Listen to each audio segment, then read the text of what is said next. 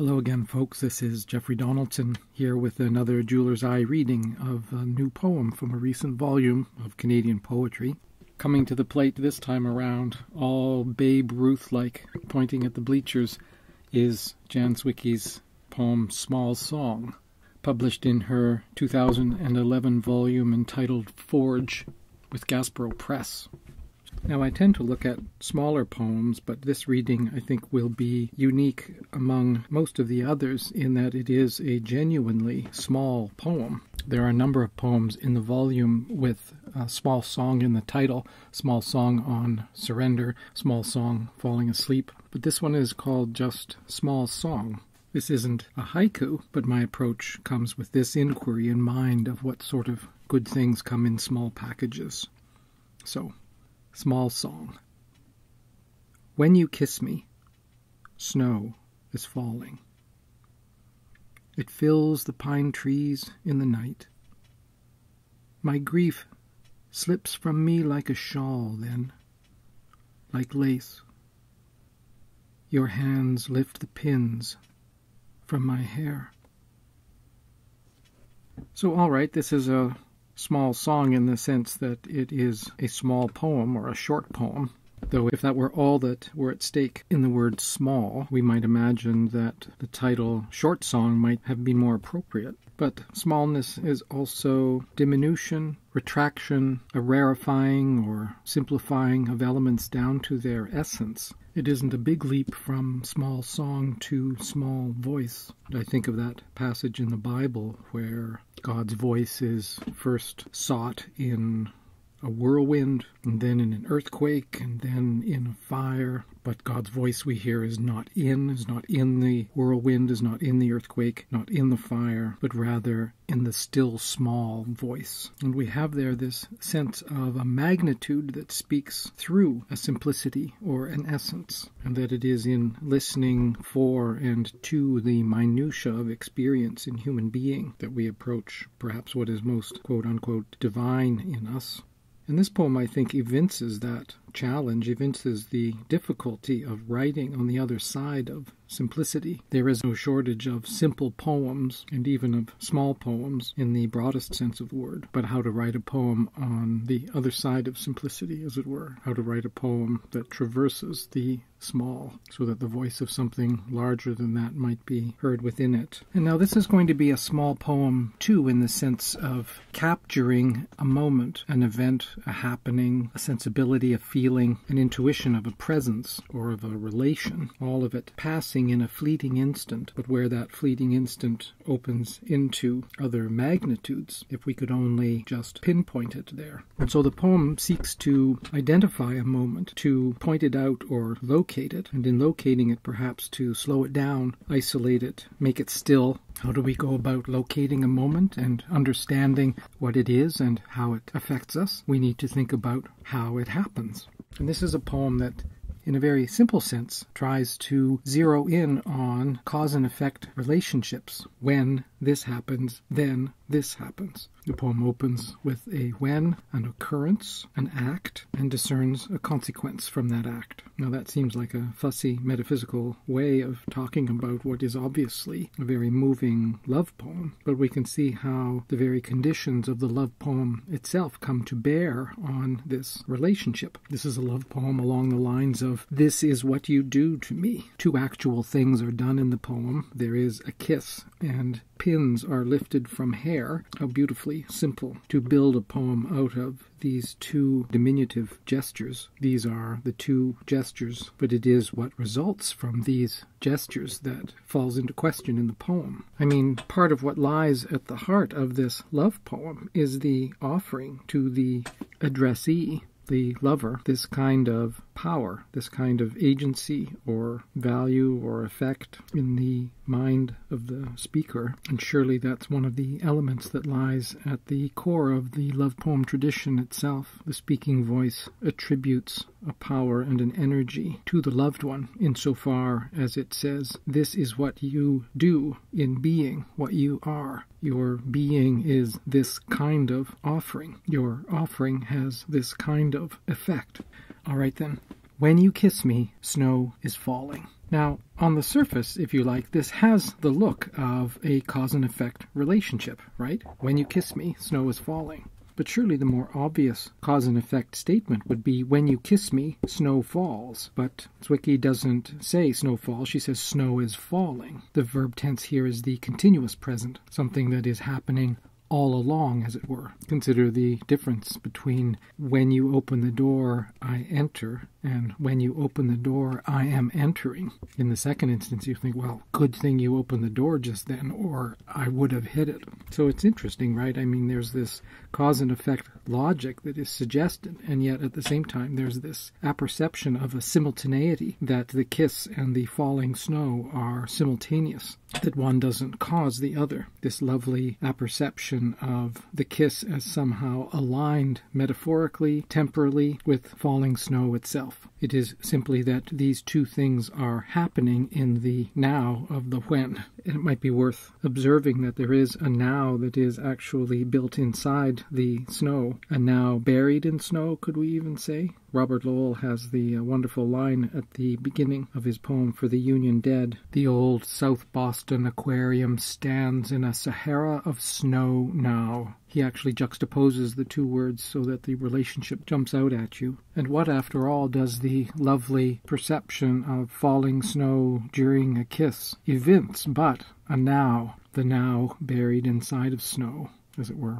So the poem seems to anticipate in its first sentence a cause and effect relationship, but if it doesn't altogether renounce it, it delays it. Delays it until the third line, actually, when we come to my grief slips from me like a shawl then. So there's the completion of our when this happens, then this happens, cause and effect construction. But in the meantime, that cause and effect relationship is delayed by the apperception of the moment itself, and the moment is drawn out by the second line. It fills the the pine, the snow that is, it fills the pine trees in the night. So look at how that's working, this sitting a moment longer with this event that is happening simultaneous with the kiss, elongating, if you like, the reach or extent or spaciousness of the when. And, and, notice how the when, that is the identification of a time, is elongated in an expansion of space. So when you do this, this moment, then snow is falling this thing that is happening in time aligns with something else that is happening in space, and that space itself is expanding. It fills the snow, that is, it fills the pine trees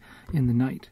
And that filling out of space, which is also a filling out of time, establishes a rise and fall or fall and rise uh, action that is going to come back uh, again in the poem. But in this instance, it's the apperception of a falling and then a filling, with the, the snow falling fills. We hear, of course, the relationship between those two words, fall and fill, but we also see how they move, as it were, in opposite directions. Falling is downward, and the filling of the pine trees is upward, a filling up, a descent down into that aligns with the entire theme of diminution and smallness, but then a filling up that aligns with a feeling of plenitude and spaciousness. The filling up or filling out to a plenitude then becomes the very means of delaying the now that is buried in the snow is falling. It becomes the means to capturing the nowness, the here-ness of the when you kiss me.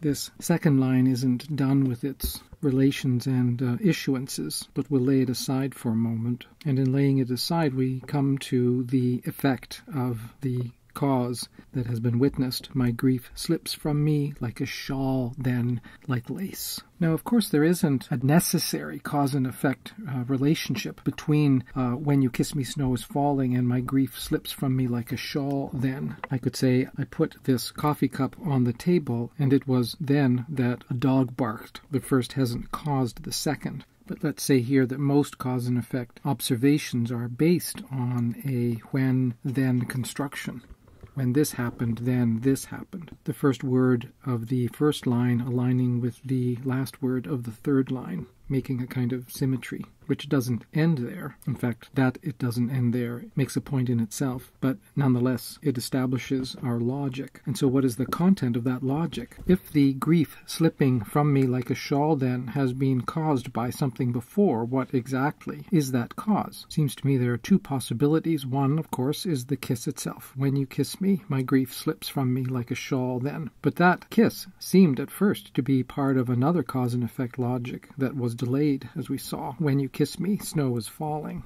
Those two became part of a simultaneity, and it seems reasonable to observe that it is that simultaneous occurrence, the kiss and the falling snow, that are uh, potentially metaphorically identifiable together become the occasion of the grief slipping from me like a shawl. And the implications for a love poem are significant, I would think. The first possibility suggests a kind of subordination of effect to cause, right? I mean, when you kiss me, this happens to me. The second alternative is more participatory. When there is this stilled moment that happens, then my grief slips from me like a shawl. Then the lover and beloved are part of a delayed moment that is temporally and spatially expanding. And that temporal and spatial expansion shared between them becomes the basis of a change in the emotional state of the speaker. Now, that seems like a lot of fussing about with an equation that for a love poem ought to be simpler than that, but the nuance of cause and effect are going to return to us and become all the more powerful and significant uh, at the end of the poem. A few other things, though, to sit with here in the middle of the poem. Our falling and rising action has been turned around again. We have snow is falling and then it fills the rising action, it fills the pine trees, and now my grief slips from me like a shawl then. The falling off, the falling away of grief gives us the downward action again a release, a letting go, a passing away. This downward vector is maybe picked up in the phonetic relationship between shawl and fall. Snow is falling, slips from me like a shawl, then something may be going on between slips and kiss, slips, kiss my grief slips. Mm, maybe not, but yes, the word uh, grief is really the only uh, word of emotional affect in the poem. This is a love poem where the only emotion that is named is grief, but it is a grief that is falling away at a certain stilled moment. And the question for the poem is what is left when grief slips away? That's part of what inhabits the poem as the property, if you like, of its unspoken remnant, the thing that you have, the thing thing that the poem has, the thing that the poem possesses when its usual coverings, shawl, lace, of melancholic emotional experience fall away. Now, there are quite a number of tacit metaphoric identifications throughout the poem. We've noted a few of them already, but uh, this line gives us our only actual metaphoric identification eh, here in the form of a simile um, where the grief slips like a shawl and like lace. There is a refinement, if you like, of the of the uh, metaphoric identification. Shawl, uh, we could imagine, is the name of the garment itself, and lace more commonly names the weaving or nature of the fabric itself. That is, a shawl can be made of lace. And how is that working? Is it is there a sense there then of our zeroing in more precisely on the condition of the grief itself, not just our emotional experience as a covering, a thing that we wear, but the fabric or the weaving that actually constitutes that covering. That uh, zeroing in has other implications too, just in the two terms themselves of shawl and lace. Uh, these are, we associate a shawl with something that keeps you warm, lace as something that is decorative. But the idea of the shawl as a kind of grief that keeps you warm, that covers you up, one wears one's grief in this way, and that at this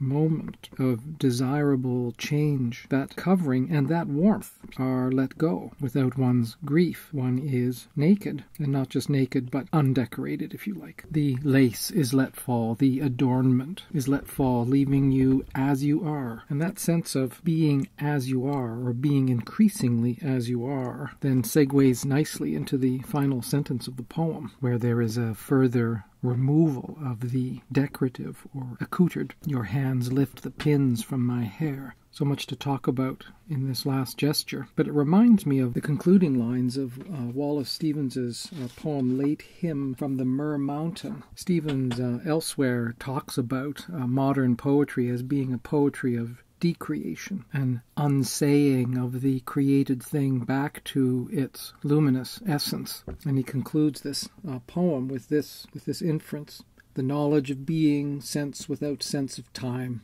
Take the diamonds from your hair and lay them down. The deer grass is thin, the timothy is brown. The shadow of an external world comes near. Zwicky's Your hands lift the pins from my hair as intimately in conversation with this beautiful line from Stevens Take the diamonds from your hair and lay them down.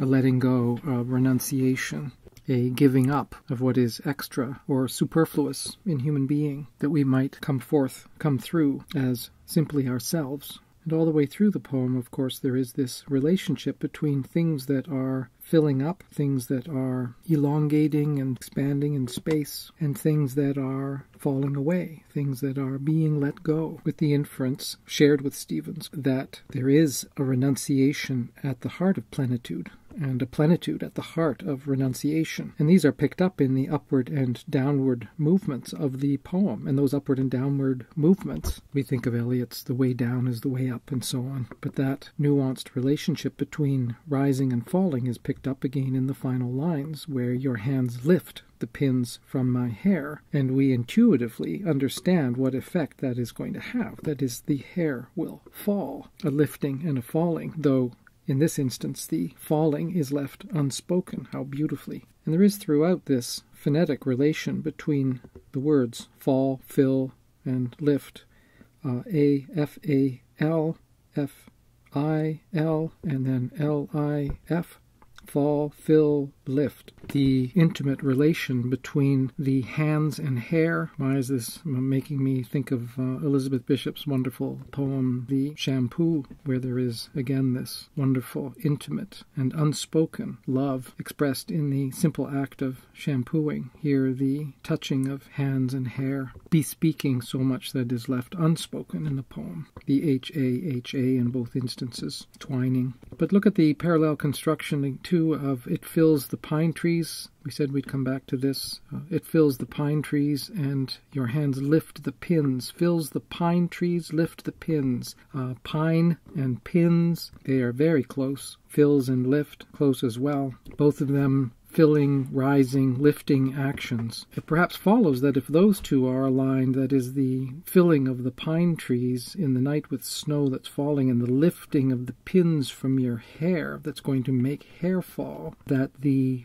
falling hair that is left unspoken aligns then unspokenly with the falling snow. Snow is falling. It hangs out there at the end of the first line, and what is left implied at the end of the last line is that hair is falling or that the hair will fall. This beautiful, suggested, and intuited metaphoric identification between that apperception of a present moment grasped as it expands in space and time, aligning with the falling down of the hair that is only unspokenly glimpsed as the final effect of cause that comes before it. And look what else. There's an inverse of cause and effect. The snow falling causes the pine trees to fill, whereas the lifting pins causes the hair to fall down. So the down up vector becomes an up down uh, vector at the end of the poem.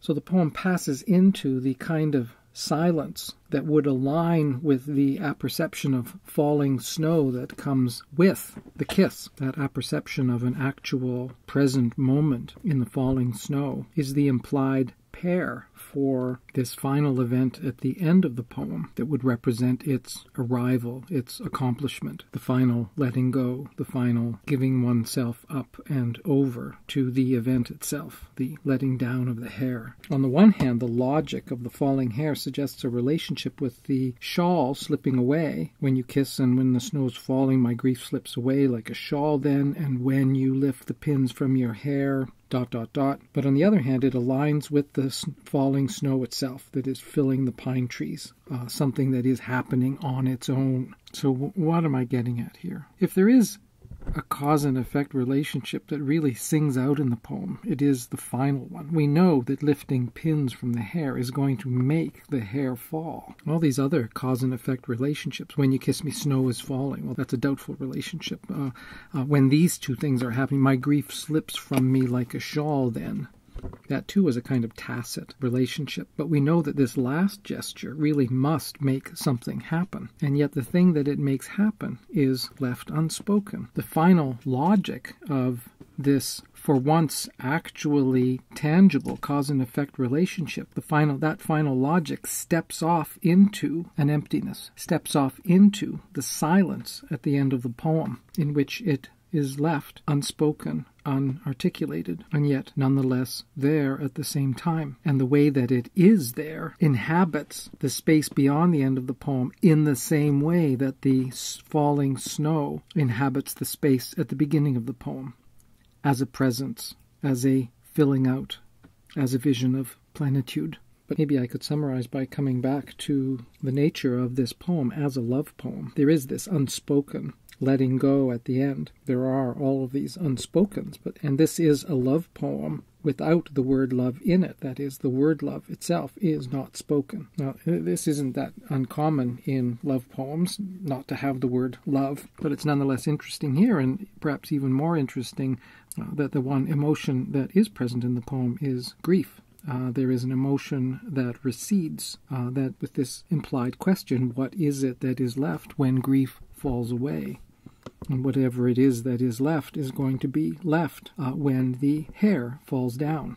The grief is let go, the hair falls down. Where are we now? What is left? We started off by thinking about how magnitudes can inhabit smallnesses, and that is, of course, exactly where we end, with a sense of the something more that comes of these diminutive gestures in the silence and space just beyond the end of the poem. And so the poem ends with this feeling of something that is about to happen, even while that something that is about to happen has been happening all along.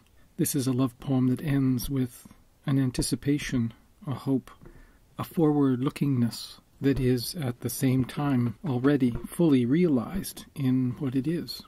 That strikes me as a love poem doing all that a love poem can. Our thanks then to Jan Zwicky for Small Song, published in Forge, Gaspereau Press, 2011.